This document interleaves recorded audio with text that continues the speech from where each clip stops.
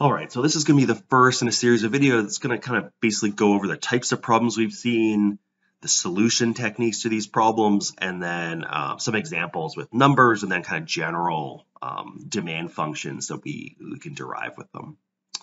All right, so I thought in this video I just kind of make sure we're on the same page about the, the types of preferences we've seen so far and maybe hints on how to identify them. So the first one, maybe we can talk about perfect complements. See, these, these are preferences where the consumer wants to consume these goods like in some kind of fixed proportion or together. So like, you know, you always have a certain amount of milk with your tea or, you know, forget the other examples would be that we've done, but but things like that, printer and printer ink, stuff like that. So keywords to look for here are like fixed proportions. And in general, the utility functions that represent these preferences have this min function attached to them. So here's an example of, of a utility function to represent these perfect complement uh, preferences, and the key is the min. I mean, if you're given a utility function that has this min in it, you should think about it them uh, these preferences being fixed proportions and then use the solution techniques for perfect complements to find the solution to that. You know, some there's some weird cases, but in general in this course, like that's that's going to be the right, right way to think about it. So remember, these are the oops indifference curves that represent these preferences are these like right angle ones.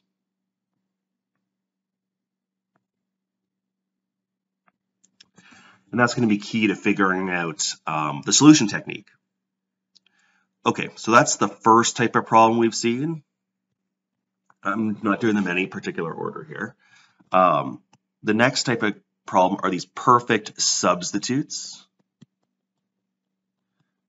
So we've seen this a few times, like, you know, we saw like wording like, oh, all they care about is the total number they have or the total amount of caffeine they have if we're we're talking about um, that question on assignment two about you know hot chocolate and and espresso espresso I should say. Um, so things like that. That's like the wording that might give a clue. In terms of like an example of a utility function I mean there's lots of different ones. It could be 5x plus 3y or anything like that. But really usually see like the two oops I should say x2 really you usually see the two um, the two terms separated. And the key here is that the MRS is constant. And that's the key feature of these uh, types of preferences. And this constant MRS means our indifference curves are straight lines. Remember the MRS is the slope of these indifference curves. And the MRS is just the negative margin utility of 1 over margin utility of 2 equals the, the MRS. And so, for example, in this one, we see the, the slope is 5 over 3, right? The partial with respect to x1 is 5, the partial with respect to x2 is 3, so the slope is negative 5 over 3. But the key here is these perfect substitutes are these straight lines for, um, for the indifference curves. So you can always calculate the, the marginal rate of substitution as soon as you see it's flat or it's uh, constant, then we're like, okay, these are perfect substitutes. We're going to use this technique to solve for them. And we're going to, you know, have a subsequent video where we're going to break down all the techniques to do this. This first video is just about identifying them. The third type um, of preferences we've seen are these kind of well-behaved preferences.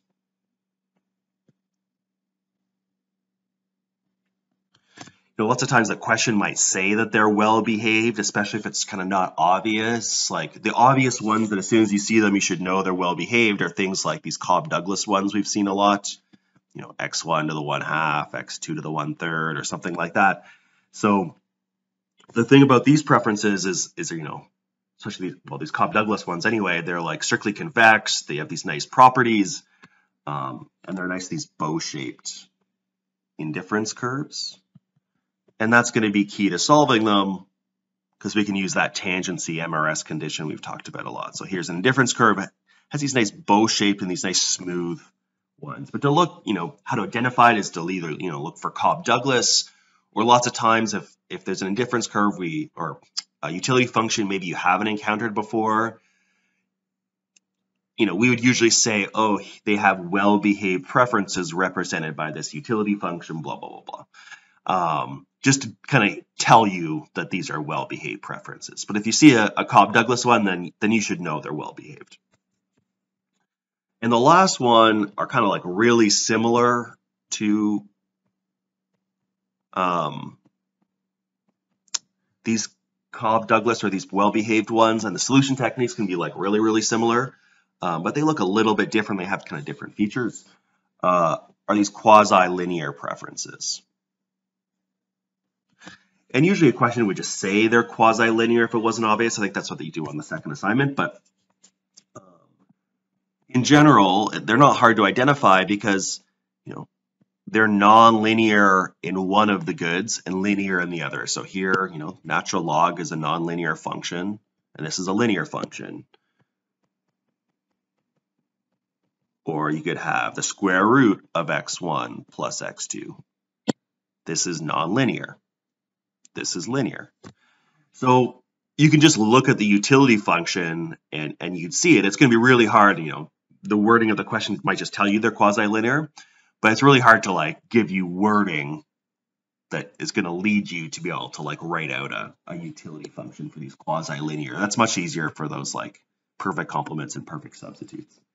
In general, what these indifference curves that represent these preferences look like are these kind of like, in this case, like these kind of like mirrored up indifference curves. So here's a bunch of them they're kind of like vertical mirrors of each other. Um, and that's going to be kind of a key feature of the solutions to them. And we're going to really tackle the solutions or these quasi-linear problems, quasi-linear preference problems, just like we do these types of problems, these well-behaved ones. We just have to watch out to make sure we don't get like a corner solution, that we don't just consume zero of one good and spend all of our money on the other good.